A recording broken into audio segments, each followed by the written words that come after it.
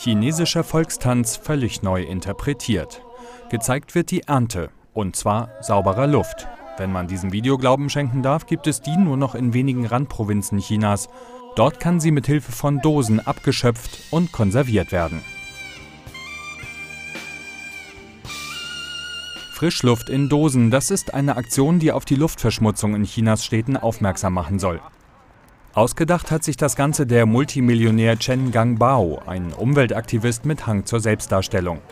Mitten im smoggeplagten Peking verteilt er seinen dosierten Sauerstoff.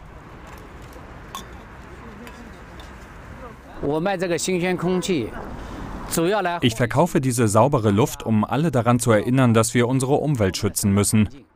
Diese Aktion ist natürlich übertrieben, aber sie soll allen zeigen, dass, wenn wir nichts gegen Luftverschmutzung tun, in zehn Jahren unsere Kinder mit Gasmasken herumlaufen werden. Der Smog in Chinas Hauptstadt hat im Januar Höchststände erreicht mit Feinstaubwerten, die häufig 20 Mal höher liegen als der Grenzwert der Weltgesundheitsorganisation. Kinder, Alte und Kranke sollten in den Häusern bleiben, rieten die Behörden.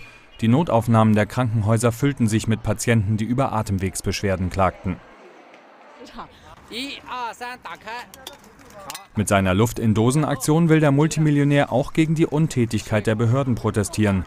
Rund 60 Cent soll eine Dose kosten. Das Geld fließt laut Gang Bao in die Provinzen zurück, in denen die saubere Luft im vergangenen Jahr so elegant geerntet wurde.